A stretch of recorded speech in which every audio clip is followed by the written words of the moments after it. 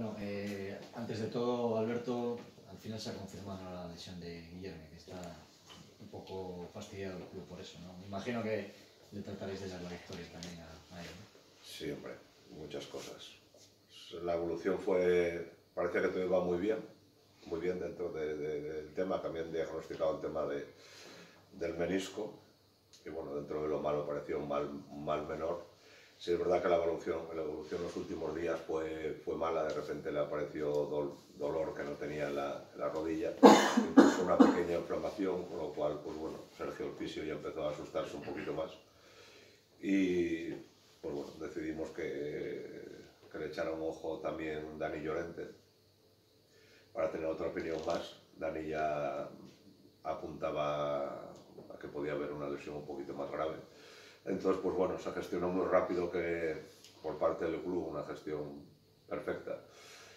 Que César Flores, el, el médico de, de las guerreras de la selección femenina absoluta de España, que están a punto de marcharse dentro un poquito para el Mundial de Japón, que hiciera un hueco y le echaron ojo, el mayor especialista en, en rodilla, uno de los mejores de España en la actualidad, que le echaron ojo, se le, se le llevó hasta Madrid ayer a que le miraran y, y diagnóstico.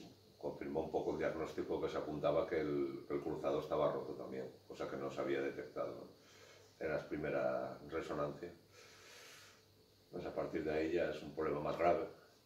Y ya calculábamos que con el primer diagnóstico que pudiera estar para febrero o así, y esto ya le hace perder la temporada.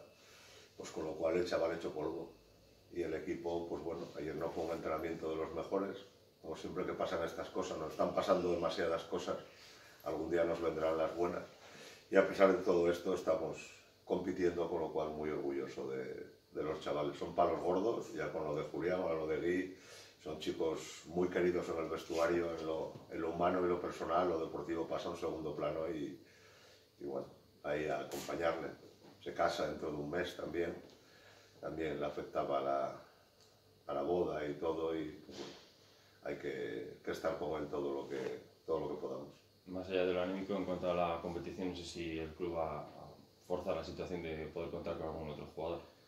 Desde el principio estamos mirando, un club tiene que estar siempre mirando por si acaso. No sabíamos tampoco la- el alcance de la lesión, no sabíamos cómo, cómo movernos o no movernos. A partir de ahí pues son los pasos que hay. Que el área económica diga si, si podemos dar ese paso. Si el área económica da el ok, pasamos al área deportiva. El área deportiva no, no tenemos capacidad para, para hacer esas cosas. Necesitamos que si damos pasos, que podamos darlos que podamos darlo, que eso no afecte al grupo, que se pueda seguir trabajando bien y, y bueno, ahora quedamos justitos, quedamos justitos. Con Julián y Gui hemos perdido un poco el fondo armario. Jugadores muy polivalentes, jugadores muy sólidos en defensa y bueno, ahora estamos un poco más justitos en defensa, sobre todo defensores centrales. Si estamos mirando, si estamos mirando lo que, lo que puede haber por ahí, no son fechas fáciles, no son fechas fáciles y lo que buscamos, pues bueno, si hay y si podemos, en el tema económico, eh, pues bueno, buscar un jugador que pueda, que pueda defender en el centro. Pienso que con Miguel y con Pino ahora mismo es la mejor pareja de centrales defensivos de la categoría. Están impresionantes, pe- pero somos conscientes de que no van a poder aguantar toda la temporada.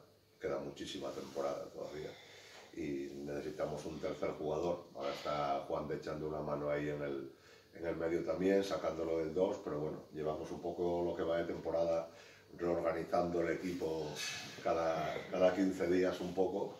Por suerte tenemos jugadores muy polivalentes y por suerte su, su actitud hacia, hacia ayudar al equipo es fantástica. Pero bueno, sí, estamos mirando en lo que hay, pero bueno, puedes imaginarte todo lo que nos ofrecen ahora mismo. Puedes escribir un libro de todas las nacionalidades en los cuales casi no juegan ni a balonmano.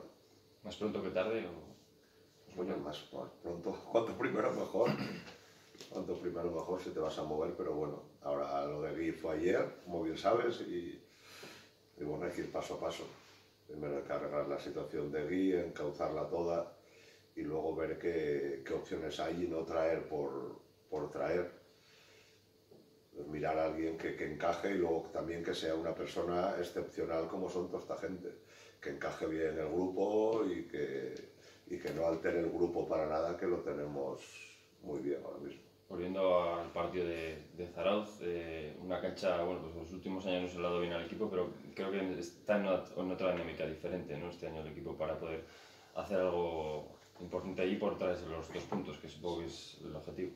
Bueno, claro, te repito siempre, vas a preguntar lo mismo todos los sábados. ¿Te puedo contestar ya para todo el año? Dale. Sí, el objetivo a ganar a Zarauz, pero como todos, los, como todos, con todo el respeto del mundo.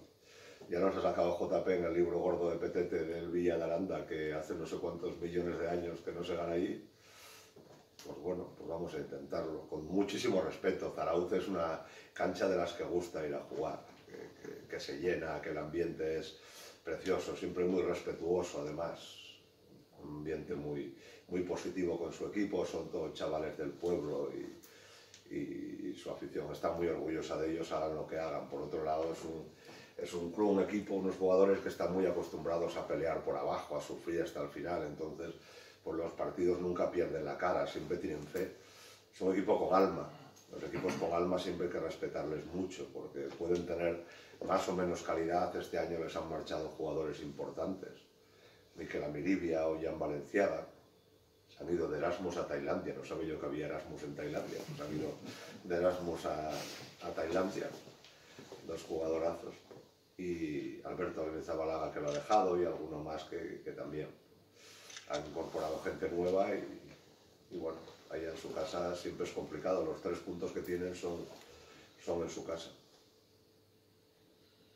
Bueno, Juan de, ¿cómo afrontáis este partido? Bueno, ya ha hablado un poquito Alberto de que nos espera un encuentro sobre todo de, de mono de trabajo. ¿no? Es un equipo en su casa se hace fuerte, afición y, y, sobre todo que intenta llevar los partidos al tramo final para conseguir eso, eh, quitar de, de, de, medio un poco al rival con, con la presión ambiental. ¿no?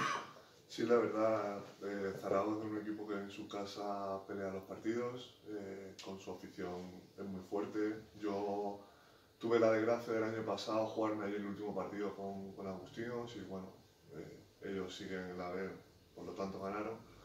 Y sí que es verdad que es un equipo que con las bajas que tiene, eh, sabe, a otros jugadores han cogido ese rol que tenían ellos y, y están peleando y, y bueno, eh, están en la zona baja, pero ellos saben jugar ahí y al final, año tras año, se siguen quedando en la B, así es una cancha difícil que hay que ir con todo y sacar los dos puntos. Les puede afectar mucho las bajas que decía el míster, porque han, han, se han reforzado con gente joven de la zona, les están un poco adaptándose a la categoría y demás. Bueno, ahora quizás es un buen momento para pillarles, ¿no? Sí, bueno, yo creo que cualquier equipo, Zarao, nosotros, cuando tiene bajas, es difícil adaptarse, o sea, más que nada porque, como bien habéis dicho, es un equipo que siempre, siempre han estado juntos, siempre, o sea, el mismo bloque y sí que es verdad que reajustar esos cambios es difícil. Pero bueno, o sea, yo te digo, allí ellos son fuertes, eh, nosotros venimos en una dinámica muy buena, hay que seguir con ella y, y sumar la victoria. Tenéis que, como ha dicho Alberto, bueno, pues ser un poco más solidarios, ¿no? Otra vez un, poco todos eh, para intentar suplir, ¿no? Ahora esa baja también de, de. Sí, G es, es un jugador muy importante en el equipo, tenía un rol en defensa muy importante y, en ataque eh, poco a poco estaba entrando, lo estaba haciendo muy bien, el partido de Palma jugó espectacular y bueno, o sea, somos un muy buen grupo, estamos todos muy unidos y, y no será fácil reemplazar aquí, pero sí que es verdad que con un poquito de todos lo, lo vamos a conseguir y, y, vamos a hacer que él también desde fuera disfrute como, como disfrutó el sábado. Igual tienes que potenciar un poquito más tu labor defensiva y olvidarte un poco del ofensivo. Sí, bueno, o sea, sí que es verdad que, por ejemplo, yo el año pasado estaba muy acostumbrado a defender en el 3.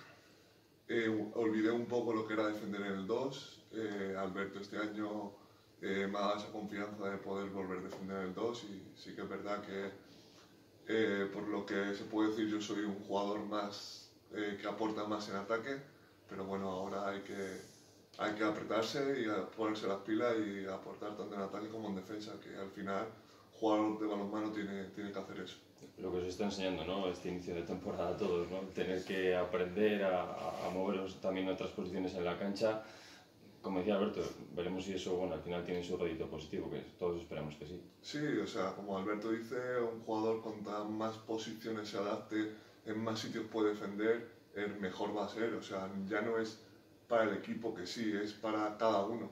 O sea, cuanto mejor seamos en nuestra posición y podamos ayudar en otra, mucho mejor para el equipo y para nosotros. nuestro objetivo de filosofía de equipo es que cuanto mejores sean nuestros jugadores, mejores será nuestro equipo. Entonces ellos tienen que adaptarse a eso, están haciéndolo fantástico, muy bien y endureciendo. Pocos equipos con dos bajas tan importantes como estas mantendrían la entereza como están manteniendo estos, estos chavales y eso es a base de, de no perder ni un segundo en llorar, que no merece la pena, de mirar para adelante y de trabajar para, para crecer y que nuestra gente se sienta orgullosa de, de, nosotros. No queda, no queda otro. Luego, por otro lado, también, pues mira, siempre aparecen jugadores por detrás que van pudiendo meterse más minutos y te sientes también muy orgulloso de, muy orgulloso de ellos. Yo me siento muy orgulloso de mi equipo, eso tengo que decirlo siempre. Ayer alguien sacaría una foto de ayer cuando llega Guía al entrenamiento y hay que dejarles que mantengan su ilusión. En principio, si no pasa nada hoy, los, los 15 jugadores que quedan disponibles, con mucha ilusión de, de, de poder darle más minutillos a Fran abajo, que, que, es el que nos lo tenemos un poco ahí enganchadito, que tiene mucha gana de, de jugar.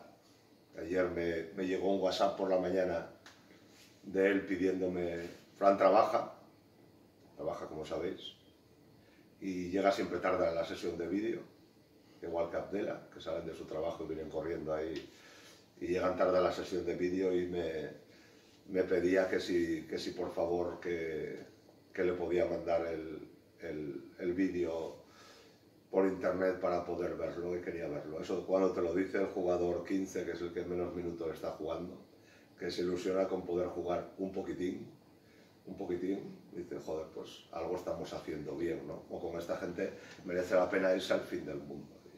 Y, y pues bueno, pues Fran tendrá sus minutos porque está pidiéndolo y tirando la puerta abajo como tienen que hacer los jugadores. No picar, no esperar a que alguien les abra la puerta, sino tirarla abajo. Igual que, estamos súper orgullosos de, de, del partido que se marcó Abdela, que está tremendo y que nos cuesta darle más minutos por culpa de la lesión de Gui, que que nos hemos ahí metido en un lío con el tema de equilibrar la defensa y el ataque y, y tenemos que buscarle más minutos, a ver si en cuanto si tenemos un defensor central más o Juan de nos demuestra que puede defender ahí muchísimo, tal que seguro que sí, tenemos que darle más minutos a Abdela que está, ¿no? Sí, está, está entrenando muy bien. Entrenando es digno de, digno de ver. Pues bueno, como todos. Siempre nos preocupa más los jugadores que juegan más menos minutos que los que juegan más minutos. Son los que los entrenadores tenemos que darles más cariño e intentar buscarles su sitio para que el equipo sea, sea fuerte. Vale.